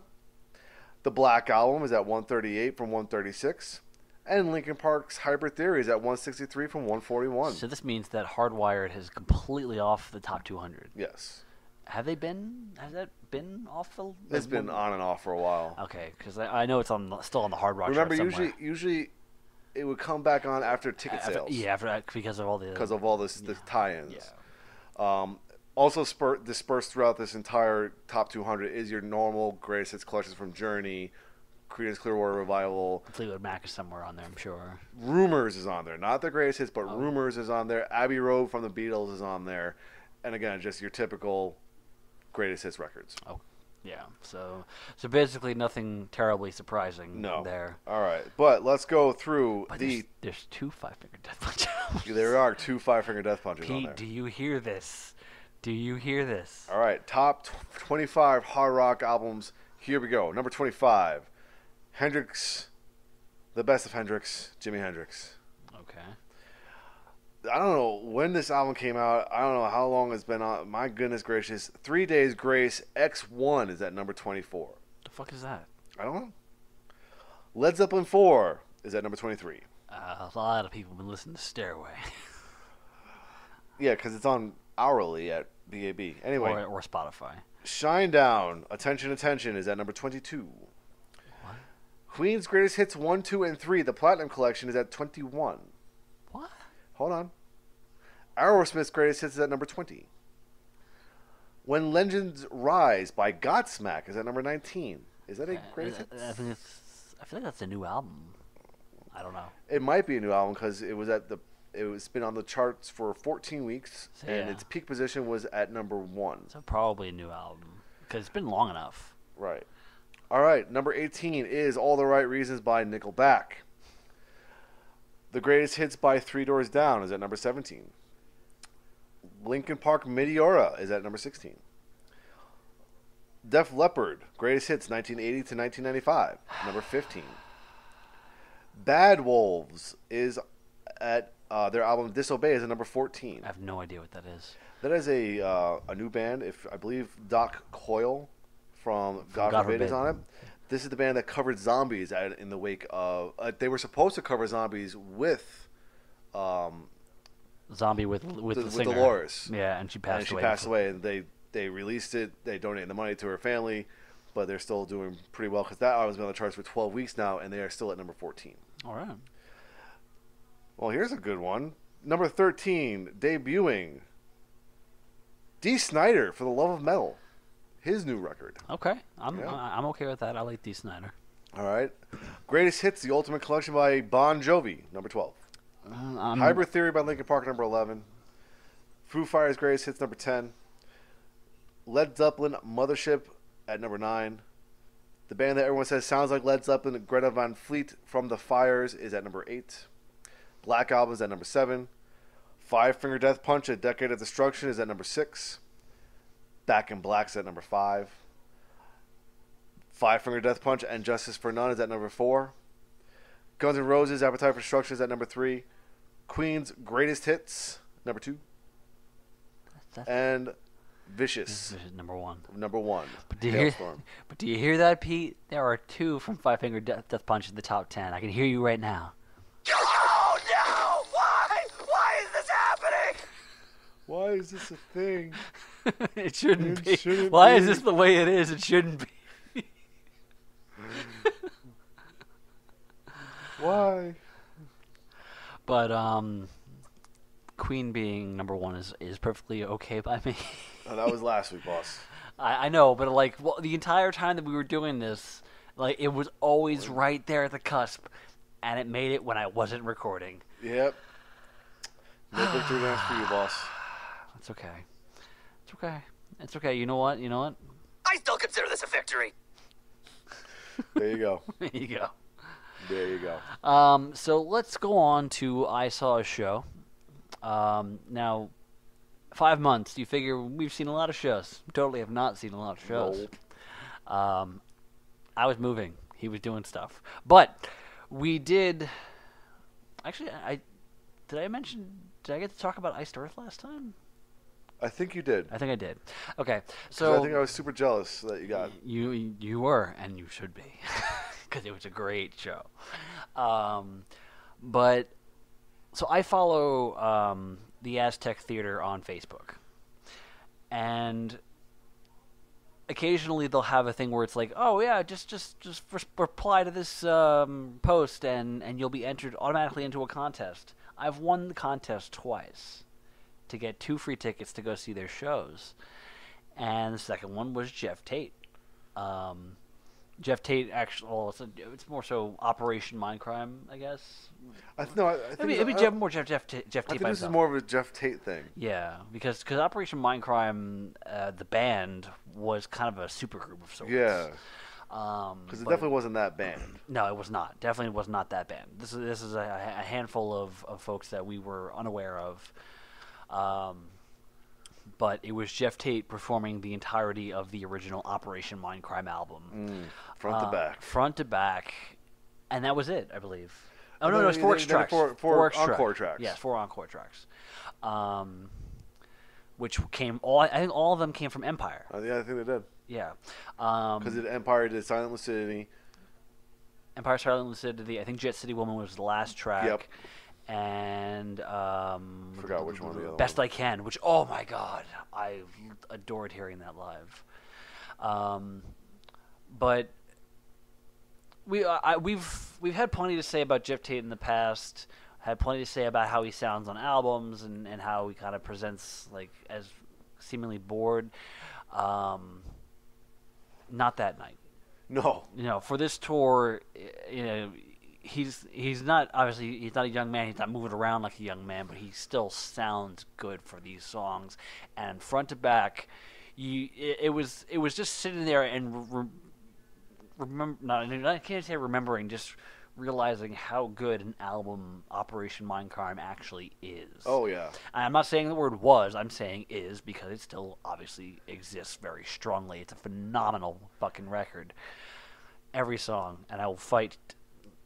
I'll fight people on that one because I have I have my my friends from the One Up Cup who don't like the song "Sweet Sister Mary." I will What fight, the fuck? I will fight you guys for that. I will fight you guys. The best song on the album? Well, I, I don't think it's the best song on the album, but I, I think that, that that one goes to It's either. the most storytelling one. It actually involves It's- two characters it's- with two different voices. It's the most storytelling one, but um, either Needle Lies or um, oh, what was it? Um, Silence of the Night, Breaking the Silence of the Night. Breaking the Silence. Either one of those two, I would say, are the best track on the album, personally. Um, but when you hear it live, front to back, you you do get into the moment. Like it, it, it's probably one of the first times since I initially started going to shows where I actually sang along. I don't sing. No. I, I can't sing. I, I don't try. But I actually sat there. and didn't even mouth it. I actually was singing it to myself Yep, me too. and it's the first time that I've done it in a long fucking time because I love the album that much, um, and it was great.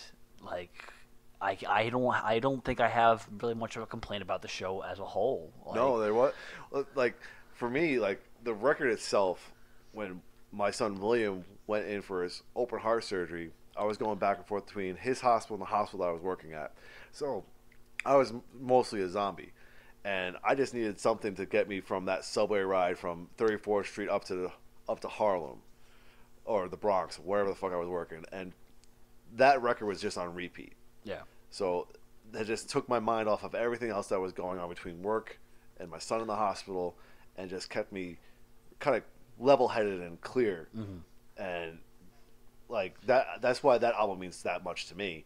Not only that, but it's also an incredible record, like you said. it's it's an incredible record, and obviously I, I, I posted on on my personal Facebook page that that when we saw it, that it is one of the most politically potent and still technically relevant albums I was gonna say it's there probably more relevant now than it is than it was than than it was, the like 15 30 years ago. well, the 30 years ago that it was made. Yeah, there's that You too, know, yeah. you, you know, it's it's it's got a very strong message, and obviously the, there was a second part to it, which overall wasn't as good. But you know how the story ends, which is tragic, even even more tragic than how the first story ends, Mm-hmm. which is basically uh, main character Nikki in an insane asylum.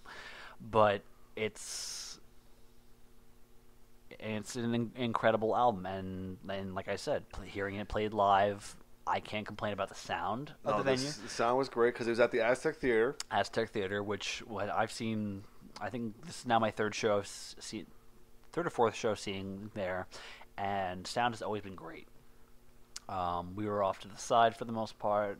Um, we were up in the balcony because we could sit up there because we had general admission tickets and they let us sit wherever we wanted. Yeah, yeah, that was that was that was nice because like I, I I I prefer to sit during shows. Uh, I'm reaching that point in, in age where I can't stand still anymore. Which like we went to a wrestling show on Saturday and like we had to we had to go pretty much at the point where like my left calf was dead. like like I started to like actually have cramps in it. Like I'm I'm getting old. Shut up! what the fuck am I? I'm getting old. You're old.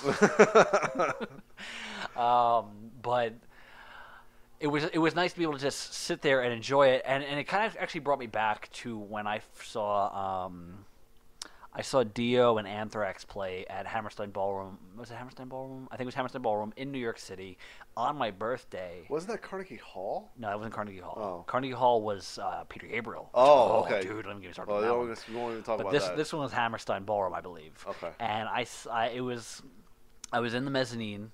It was not crowded up in the mezzanine. It was a, it was very sparse up there. So I went. I actually took myself further back and sat up on the back of a chair against the wall and watched what was one of the best performances I had seen at the time. And it kind of brought me back to that yeah. because of just where we were and, and, and how good the show was. Um, and like we said, they play they, they came out, they played start to finish Mindcrime with all the little bits inside. Um, I believe that the person they brought out was actually Pamela Moore, the original singer for the uh, albums, and who they have brought out many times. Uh, I don't know that for a fact. I could be wrong, but it sounded it sounded good enough for me. Yeah. Um, but they played it start to finish with all the little um, intermission stuff and the spoken tracks over it and whatnot, and then left for a little bit, came back out, and they played um, the four tracks from Empire. And again, those four tracks are great. In particular, "Best I Can," I f- like. I love that song. I feel it's I feel it's not I it doesn't get the credit it deserves for being such a stellar opener to an album that commercially brought the band to prominence. Yeah. So, um, obviously, the rest of the, you know, obviously, it's like Silent Lucidity is going to be a phenomenal song. It's going to be a phenomenal song live. So, that was up and far away. The other two, I, I could have actually, you could have swapped out whatever you wanted to, but, but Silent Lucidity, I would have loved to hear live. I did. And Best I Can, phenomenal. So, Well, the, the thing about the whole performance itself was the fact that the band was incredible. Yeah. Like it sounded like like Queensryche was playing the record. yeah. You know, they they had all they had the tones of the guitars just right. Mm-hmm. Everything sounded just like the record. And the best part about it was that Geoff did not try to replicate his vocals note he, for he, note. He did what he he he, changed it in, in enough that it did it wasn't irksome, Mm-hmm. but it's what he's able to do because we, we know well enough that he's not able to hit the highest notes at this point, and he's not trying to, and that's that's good. Yeah.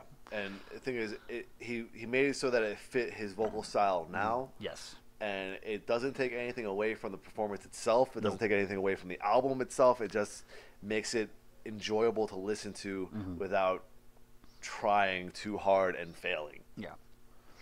So, I, I'm sure by now the tour is actually over. Probably, But- because we saw that in the beginning of July. Yeah, but if, halfway through if, August at this if- rate. if it's still going on and it's coming to your town and you're a fan of that album, check it out. It is a great, great show. I've and, and, this is actually the second time in the last few weeks that I've had plenty of nice things to say about Geoff Tate, considering that I've I've said some I've Not the nicest I, things. I, yeah, I, I've been I've been on the fence about him and, and some of his solo stuff and whatnot, but Well, I was just super excited when you told me that you got the tickets, and Yeah. I was like, hell! And it was on a night that I didn't work, so I was like, yes, we are doing this. yeah. So so definitely fantastic show. Uh, all the applause goes to him. I mean, I've seen I've I've seen Queensryche with him fronting the band, and I've seen Queensryche with without him in the band.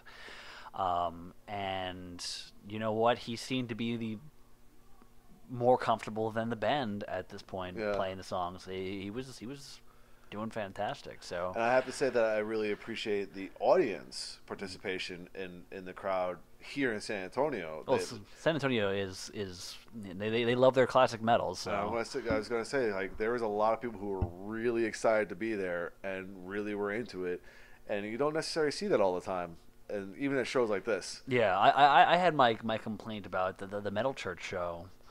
Um, you know, Right. There was that that one guy in particular that Kept on ca- calling for the classic shit, right? yeah, well, fl- flipping them off when they were doing something from like w- like two or three albums into their career instead of like the very original stuff, and I, I don't know. Yeah, I- stuff like that's stupid. Yeah, I, I, I it was de- it was definitely. Well, I, if you're if you're a Queensryche fan and you don't have respect for the album Operation Mindcrime, You're not a fan. you you what what what, what I, I mean I can't even I can't even articulate how uh, frustrating that is for someone like me. There's no emoticon. There's, yeah, there's there is no emoticon. There's, there's it's just you know I can't I can't relate to this. In fact, you know what? I have a certain gesture I'd like to share with you. Pretty much. Yeah, nice. Uh, that's that's. I didn't think I was gonna have a good cl- uh, use for that clip, but I have a great use for that clip now. so all around. so um, let's go on to our discussion then. Wow, we've we've had a lot to say. And our, well, we've been gone for five months. Yeah, we've been gone for quite a while, and and it, and it feels so good to be back. It does. We're going. We're going to try and do this every other week. Yeah, you know what? You know what? Here we go. We had a dance party for no reason! okay. Um, So our discussion for this week. Um, I'm gonna let you take over because I don't actually know the story. So All right. Well, the topical issue that we're talking about this week is as I lay dying has returned. They have recently announced a U.S. headlining tour, including a date here in San Antonio. And for those who are not in the know, Tim Lambesis, who is the singer of Lamb of God, was imprisoned a few years ago for attempting to hire somebody to murder his wife. Um, so he did. He served time. He was re- released probably. I think it was late last year, and since then the band has gotten back together. They have performed once so far and recorded a new song, which was released. So the question we have here is: Given Tim's past indiscretions, the nature of his crime, and his recent release from prison, what are our feelings of them returning to the stage? Does he deserve a second chance? Does the band deserve the attention? And where is this going? Has he done anything at all since getting out of prison to make it seem like he's rehabilitated in any way? Has he done anything good? Uh, the only thing I, that I know of is that he released a lengthy statement via some sort of social media. I don't know if it was a press release or it was actually just on his personal social media account, where he made a very lengthy apology for his actions and so on and so on. The, the typical mea culpa way too late in the game, especially after you serve time. Yeah, I'm sorry I tried to kill you. you know that that that that mm, that doesn't quite cut it.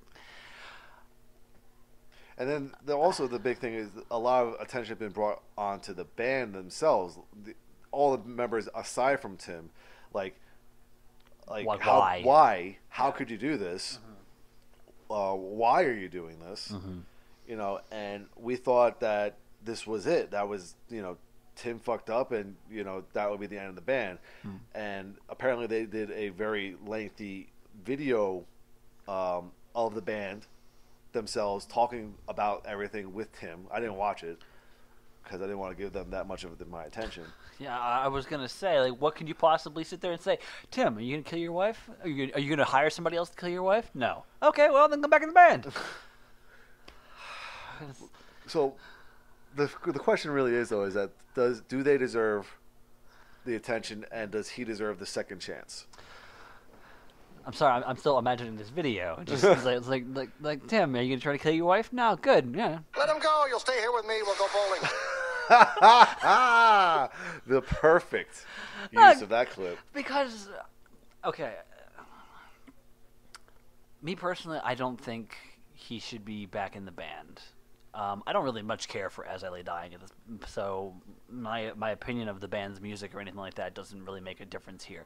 But it is way, way too soon for for something like like not even way too soon. Like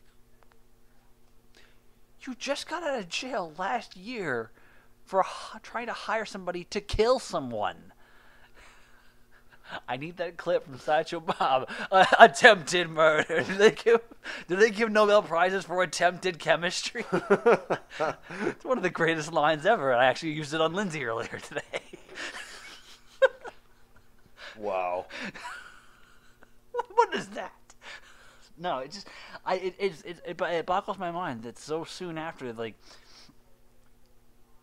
like what is what does the band actually think? Like, Does any any of the member any member of the band actually sit there and say I'm not so sure about this? Like you're telling me that four other guys sat there and said, "Oh, come back to us, buddy." Like no. I don't. I don't care who you are. You could be like my best friend for years and years and years. You do something stupid like that, you fucking pay the price, and you get the fuck out. Well, that's the thing that some people are saying that he did pay the price. He did do his time in jail. He did get off for you know good behavior or whatever it was. He served his time. That's what people are saying. He served his time and he deserves a second chance. And we are Not so soon. we are a nation of second chances. I mean, come Yeah. on. Vince Neil did 30 days and he killed a guy. That's because he's. That's because he was a drunken idiot and, and didn't. that was that, that was unintentional manslaughter, but still manslaughter.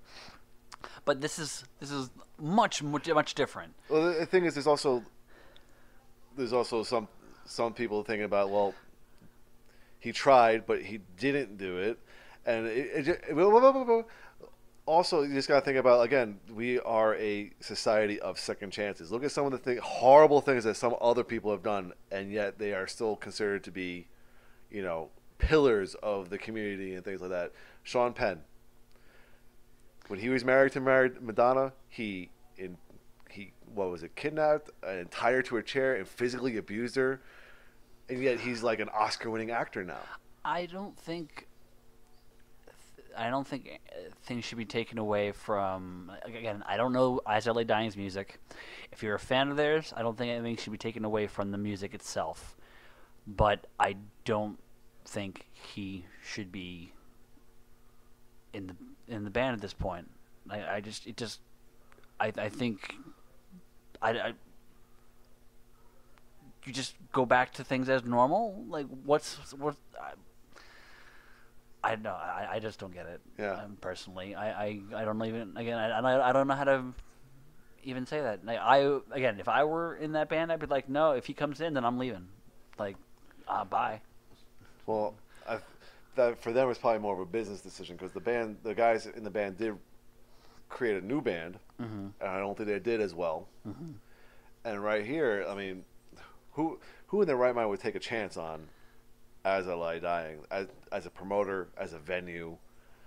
Yeah. I mean, the the idea is for some people is probably just the notoriety will bring people to the place. That's just that's that's It's not a the business. reason. It's a business decision, boss. That's not the reason to see something. It's this. It's the business of it. Ah. Remember, this is still a business. So the guys, the four guys in As I Lie Dying, had a new band, and they sat there and was like, "Well, we're not doing as well as if we were in As I Lie Dying. We just got a guy who just got out of prison. People are gonna want to see him just because he got out of prison. Then just get a different singer. Doesn't work that way." Stay under the name as I lay dying. There's also I don't know what the legalities of it was because apparently, you know, Tim Lambesis was trying to form. There was rumors that he was going to form a new As I Lay Dying.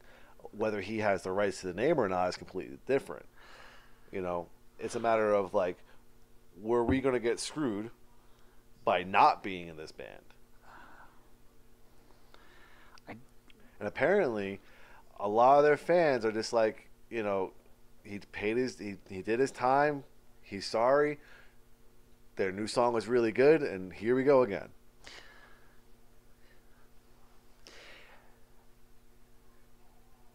if you told me that someone I absolutely adore, like Bruce Dickinson, hired somebody to murder his wife, I would think far less of him. I would still think Iron Maiden and all they've accomplished is fantastic, but I'd be like, do not put him back in that band. Like, do something else. That's that's again this is me personally like you you commit that level of a crime you tried you tried to have someone killed you should be laying low for a little while like you just you within the last year you got out of jail you shouldn't be doing anything for like 4 to 5 years then maybe when people have sort of forgotten about it then you come back. Hmm. It seems like the attention span is shorter now, though. I just it's because people don't really give a shit. And that's, No, that's that. Well, that's that's where we're at. it's it's ridiculous. So, what do you think is going to happen here? They're going to do their tour. They- If if it's successful, do they head into the studio or do a new album? I'm sure they will. I'm I'm I'm sure I'm sure they're gonna they're they're gonna they milk it for all they can. And that's and what then, you do. And then five years down the line, from now, everything will just be like, Everything will be will we'll be laugh peaches, about this later. everything will be peaches and cream. Mm-hmm. Everyone will just mm. It's like, remember that time you tried to kill your wife? Yeah, it was great. Yeah, share a beer. No, no, It's- mm. it's it's it's really no, no. I yeah, I'm I, I can't go more than. I, I, I haven't heard your opinion here, so well, I actually liked uh, As I Lay Dying. uh, You know, that one album I have, I really liked them. You know, I'm not going to go out of my way to see them. yeah, the one one album. Yeah, I have, I have one album. I, I have no reason to go out of my way to see them, Uh-huh. and I'm really like, as far as I'm concerned, I know what he did was terrible. The fact of the matter is, is that like, who really are we to tell him how to live his life after he gets out? I mean, if if this is a decision, I mean, it's it's really up to the people who are going to go see the show. It's Yeah, really not up to him. That's that's you know, he's just he's just trying to make a living. yeah. I mean, this is what he knows how to do and how he knows how to make a living. It's really up to the people who decide to go see the show that that will determine whether this is a good idea or not. It, it, it's it's more so a matter of of speaking or fighting with your wallet. Like, do, Again- you, do you spend the money to go see the show, or do you just go, uh, fuck that guy, fuck that band? You know, that's, that's that's it. again, you know, the, we are a, a society of second chances. Sometimes third and fourths. So Uh, mm, not, come on, there's a long track record of it. You can just look it up. I, I know this this there there is, and it's. I mean, your example, unfortunately, before was of of no value to me because I was like, I don't really give a shit about Sean Penn. Well, the fact of the matter is that he did something absolutely horrible, and he physically did it himself. Yeah. He assaulted somebody and imprisoned them. Yeah. And yet, you know, 15, 20 years later, or whatever it is down the line, he's considered one of the best actors out there, We- we have- despite the fact that he did this horrible thing. We, we have we have a sh- short attention span now. you know, and same thing. You know, I read, I read in the book about Led Zeppelin. Led Zeppelin, Jimmy Page. Mm-hmm. He wanted to have sex with an underage girl, and he kept her in his house, hidden away in his house for years. Wow, he While he was, while she was fourteen. Wow, I didn't know that, but now you've made it even worse. I, fuck you, Jimmy Page, you fucking dirtbag. and you know he is revered as still one of the best guitarists in the history of the world. You know, That's, that's the that's the that's the annoying part is trying to separate the art from the. Well, just look at look at some of the the sports figures we got going on. Michael Vick with his whole dog fighting thing and Yeah. whatnot. Second chance there. Anyone who has you know history of domestic violence gets a second chance every chance they So get. let's let's all just take a moment to praise guys like Dave Grohl. I know, right? the nicest guy in rock and roll. There's nothing you could Yeah, bad you can say Dave- about Dave fucking Grohl. Dave Grohl, Tom Hanks, you know those guys who just like if if if I heard a, a bad thing about Tom Hanks, I'd, I'd I'd I'd probably start to like weep openly because that's that's when I would know that we're all going to die. Yeah, for real. Like like there's definitely some sort of very large rock careening toward this planet right now. it was the end of times. It Yeah. was the sign of the apocalypse that Yeah, Tom that- Hanks is a bad person. Yeah, you know, guys like that who who seem genuinely, you know, yeah, Yeah. So I mean, just you think about things like that, where people have made entire careers after their horrible incident. it, it's it's terrible. I mean, many many are many now are getting their due for for past infractions, and I think th- some still need to pay the piper. Mm-hmm.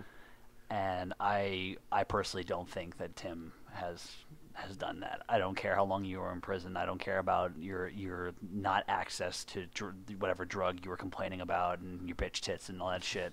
I don't give a shit about any of that. You fucked up hard. And I'm not the kind of person who will offer second chances for something so heinous. Mm-hmm. So I don't, and, and especially when you are of sound and clear mind. You you did that. You purposefully did that. This was not like a you got drunk and called up a hitman kind of thing. Like even Yeah. that's bad.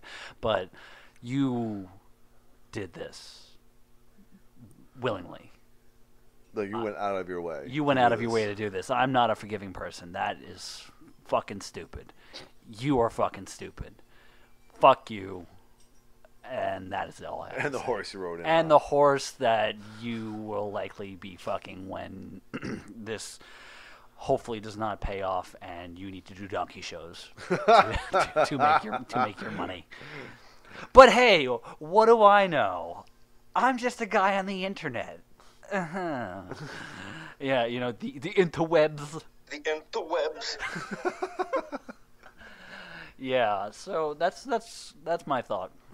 Um, if you think I'm wrong, um, actually, you know what? Don't comment. I don't want to hear it because I don't care. Your comments mean nothing to me. Your, your comments mean nothing to me, and and I I have a perfectly fine response to trolls, which is And you fail. the end. Um, do you have anything further to contribute to, the, to that no, I, discussion? th- I think you, you summed it up pretty pretty well there. Yeah, I think uh, I think I'm pretty good there. So I think that's where we will close. We'll try to pick a lighter topic next time. Yeah, we'll pick a lighter topic where I'm not just sitting here griping and and, and We probably could have ended on a, on the Geoff Tate note, but yeah, you know, we, we, need a we need a punching bag around here somewhere. well, you can hang it up in your garage. You got one now. Yeah, well, I I, I can put a picture of Tim pieces. Punch you right in the bitch tits, motherfucker. Bob had bitch tits. On that note, we make our curtain call because Warrior needs food badly, and that is a clip I do not have on here yet because I'm still getting. It I know there's so much fail, but I do have I do have this one. What? No. Yeah, Mark Wahlberg. So how do you mother for me? How do you mother for me? I'm gonna talk to a chicken now. Um, but until next time, which is two weeks from now, seriously, we're back on we're back on rotation. We're trying. We're, we're going to make this work. We're gonna Swear. Make, yes, we're, we're actually back on a bi-weekly rotation. So every two weeks, we will be back to do this again. Until next time, I'm Dan Mack, And this is Chris Mack. and I don't even remember our sign off, but I do have a song. I think we tr- we were trying to make a new one. I think I think we were just saying like keep it heavy, folks, and then I was doing this whole little button. Now fuck that. I'll end it on this. Damn it. Wow, stone cold.